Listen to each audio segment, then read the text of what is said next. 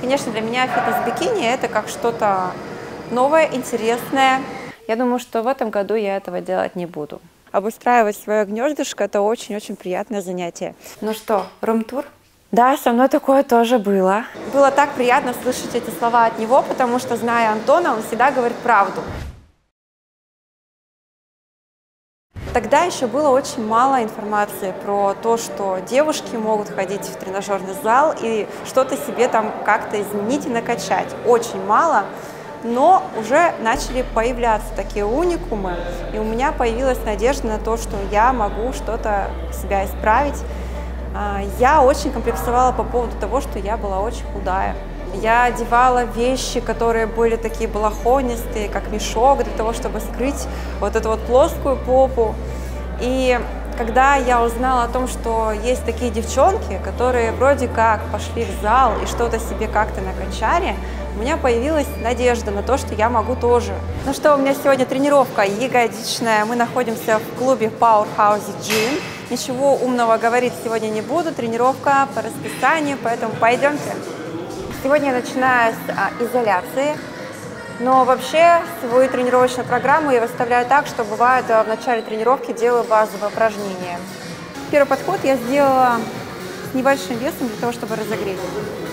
Хочу обратить ваше внимание, что я не делаю акцент на пятку. Я выжимаю платформу всей стопой. Потому это упражнение и называется ягодичным жимом. Я выжимаю не ногами, выжимаю ягодицами. Да, когда ниже опускаешь, амплитуда уже становится не ягодичной. Это первый момент. Второй момент. Такое происходит, когда э, мне немножко неудобно из микрофона, когда таз вот так подкрутили вперед. В таком случае тоже начинают работать ноги. Для того, чтобы включались ягодицы, я изначально немножко прогибаюсь в поясничке натягивая ягодицы. Мы всегда мечтали о своем загородном доме. И в этом году я поняла, что пора. Пора, хватит мечтать, надо действовать.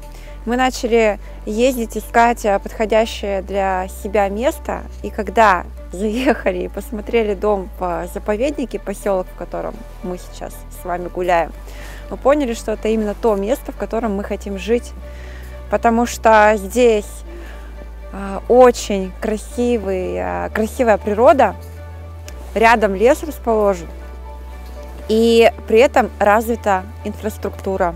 Догоню, догоню, догоню, догоню, догоню, догоню, догоню. догоню. Ты куда? Опа! Пал! Пал! А, поселок находится в 30 минутах от центра города, что очень удобно, потому что у меня Саша работает как раз-таки в центре. Мне еще удобнее, потому что у меня работа удаленная, и меня это вообще никак не напрягает. И работать из такого прекрасного места а, гораздо приятнее, чем сидеть а, в квартире в четырех а, стенах. В этот дом мы заехали относительно недавно, это произошло в августе. И сейчас мы продолжаем его обустраивать, и пока это делаем постепенно, а, но на самом деле с удовольствием, потому что обустраивать свое гнездышко – это очень-очень приятное занятие. Сегодняшняя тренировка у меня начинается с изоляции. Я это делаю специально для того, чтобы лучше включать ягодицы в базовых упражнениях. Я как бы устанавливаю связь а, с ягодицами и дальше уже с хорошей, хорошо налаженной нейронно-мышечной связью я иду на базовое упражнение. Когда вы выполняете с наклоном на спинку тренажера, вас став в комфортном положении, при этом вы можете точно так же, ничуть не хуже, проработать э, свои ягодицы. Но для того, чтобы они хорошо у вас включались, вы должны сами их сокращать. То есть э, обратите внимание, я сейчас буду делать второй подход – Перед тем, как разводить стороны ноги, я сокращаю ягодицы.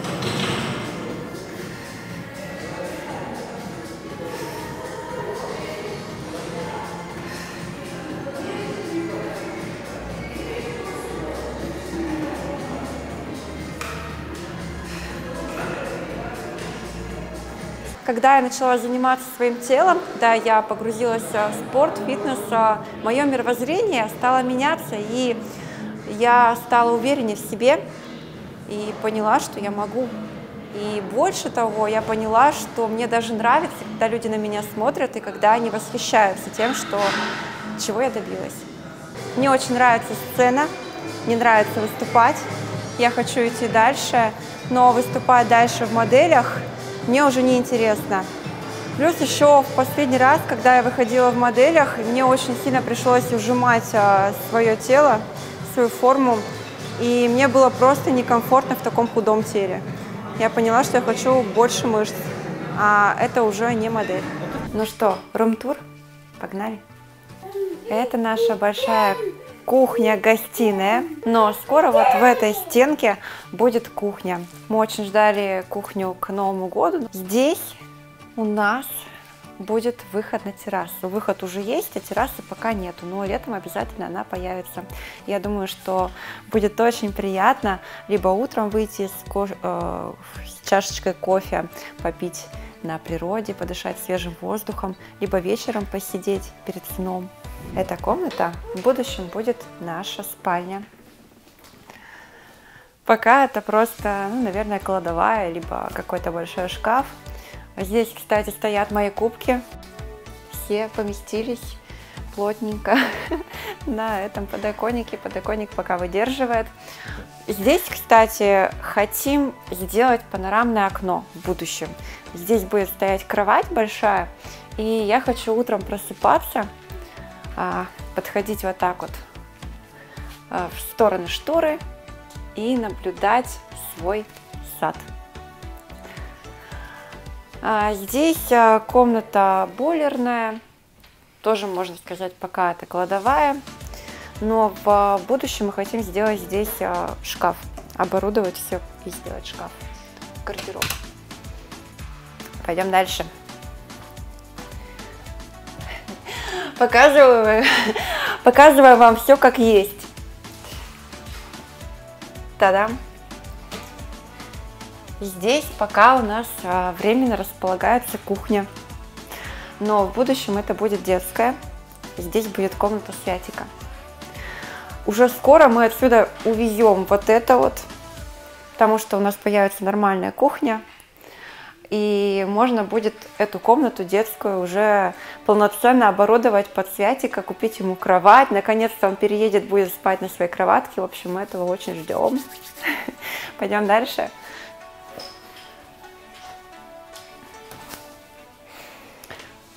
Комната, туалет, ванна. Ну, пока показывать тут тоже нечего. Ну, будете знать как она у нас выглядит.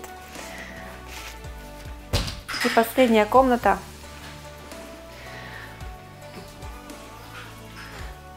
Саша называет эту комнату чильная, потому что мы здесь отдыхаем.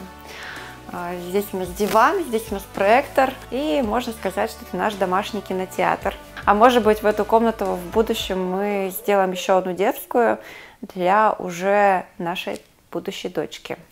Для меня очень важно мое состояние, состояние гармонии. И оно достигается тогда, когда есть баланс всех жизненных сфер.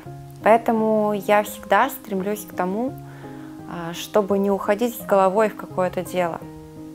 И меня очень часто заносит. Я карьеристка, я очень а, много люблю работать. И когда я ухожу в работу, я замечаю за собой, что я начинаю выгорать, у меня нет сил, у меня нет вдохновения, а, в том числе моя работоспособность тоже начинает падать. Поэтому я взяла за правило, что как только я замечаю, что я слишком много работаю или слишком усердно тренируюсь, слишком погружаюсь в соревновательную деятельность, я немножко себя торможу. А, когда ты получаешь медаль, кубок, это счастье, оно на самом деле минутное. После этого не происходит каких-то серьезных изменений. И поэтому для меня счастье – это когда ребенок счастлив, когда я уделяю внимание ребенку, когда я хорошо выгляжу, когда у меня все в порядке со здоровьем. То есть а, спорт это тоже для меня важно. И уходить полностью с головой в материнство я никогда не стану тоже. Хорошие отношения с мужем, когда у вас взаимопонимание, взаимовыручка. Все в порядке дома, в быту, и дома находиться комфортно, спокойно. Это для меня счастье. Баланс. Знаешь, почему я выступала в моделях раньше?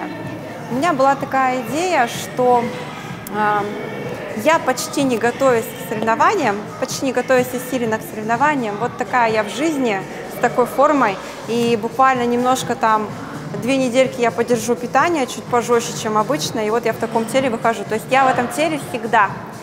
Эта идея была для того, чтобы показать э, своим клиентам, своим подписчикам, что они могут также, могут также выглядеть, как фит-модель в жизни. Так, а я сейчас буду делать мертвую тягу с гантелями. Я обычно всегда использую лямки в таких упражнениях для того, чтобы не отвлекаться на то, как у меня устают руки, чтобы максимально концентрироваться на работу ягодиц. Так, я думаю, что я сначала возьму небольшой вес, потом немножко добавим.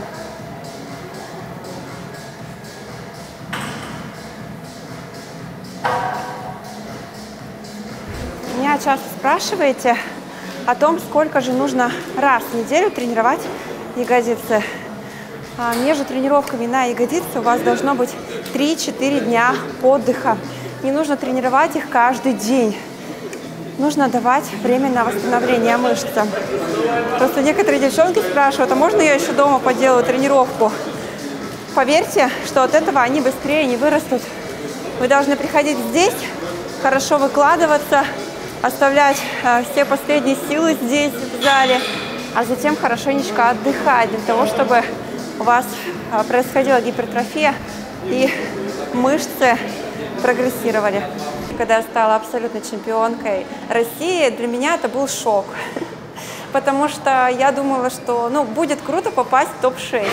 Я знала, кто там будет выходить в моей ростовой категории. Но, с другой стороны, мне было очень интересно, что я являюсь участником таких соревнований, и я буду стоять на сцене с такими крутыми, красивыми девчонками. И я вообще не ожидала, что я тогда стану первой. Вообще не ожидала. Для меня это был шок. Да, бывает непросто.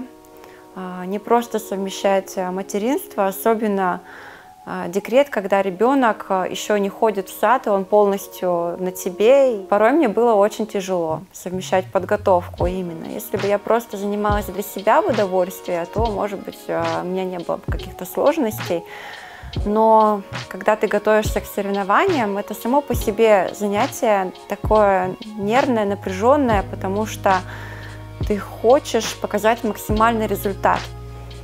И так как я человек э, перфекционист, мне нужно сделать все максимально идеально, классно и так далее, э, я очень заморачиваюсь порой, очень переживаю, когда у меня не получается идеально, когда мне нужно было 5 тренировок сделать в неделю, а у меня там получилось вообще 3 тренировки или когда мне нужно было сделать кардио после тренировки, а у меня не получилось сделать кардио. Когда я стала мамой, я очень изменилась. Моя жизнь вообще в целом поменялась. И когда я еще ходила беременной, мне многие подписчицы писали, ой, это просто другая жизнь. И я тогда не понимала. Мне кажется, вообще невозможно понять, пока ты сам не станешь э, родителем. Я поняла, что нужно в балансе жить. Потому что жизнь до это было постоянное напряжение, постоянная гонка за какими-то новыми целями. А, одну цель а, закончила, закрыла, пошла дальше какую-то цель себе ставить. я на самом деле от этого очень уставала. И я считаю, точнее я поняла, когда я родила, что это неэффективно намного эффективнее, когда ты все-таки успеваешь отдыхать, расслабляться, уделяешь э, свое внимание, свои силы еще и другим сферам. Тогда ты совершенно в другом состоянии находишься, твоя энергетика совершенно другая, люди это видят, они чувствуют, и, соответственно, у тебя все получается намного круче, чем если ты делаешь э, из последних сил. Я ищу место, где бы нам с вами упасть, чтобы сделать ягодичный мостик. А, кстати, ягодичный мостик – это одно из моих а, любимых упражнений, одно из первых упражнений, которых, которым я начала чувствовать свои ягодицы. А вот, кстати, штангу закинуть – это уже не так-то просто. Сделаем вот так.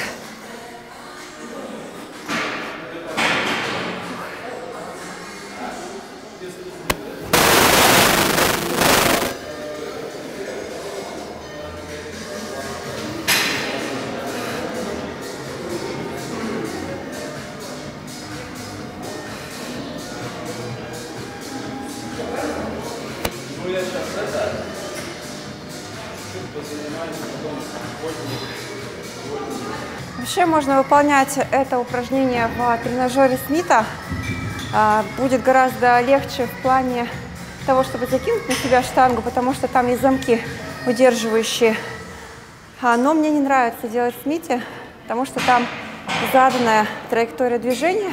Это, во-первых. А во-вторых, а, не во всех Смитах можно выполнять в хорошей амплитуде, потому что там стоят блокирующие замки, и они иногда мешают.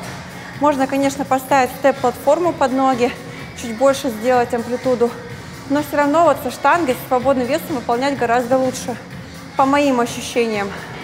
А, можно либо попросить кого-то, чтобы вам помогли, либо есть а, блины более большие, тогда а, можно будет легко подлазить потому что эта идея, правда, пришла из ниоткуда. Я не думала об этом, я не готовилась к соревнованиям, мне просто, просто пришла идея о том, чтобы выйти в таком образе. Во-первых, для меня было важно оставить о себе впечатление. Вообще покрасить волосы в красный это было очень рискованно. И меня отговаривали, мне говорили, что так делать не надо. Лучше покрасить в черный, стань брюнеткой или блондинкой, но красный это вообще что-то нет. И я тоже боялась, что мне не пойдет.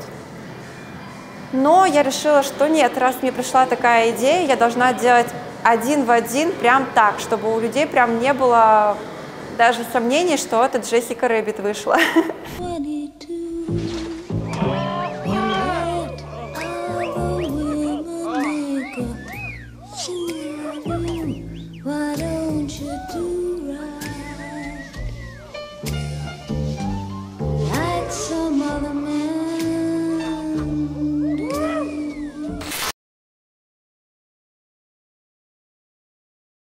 Мой переход в бикини, думаю, что он связан с э, знакомством с Антоном Владимировичем Муштановым.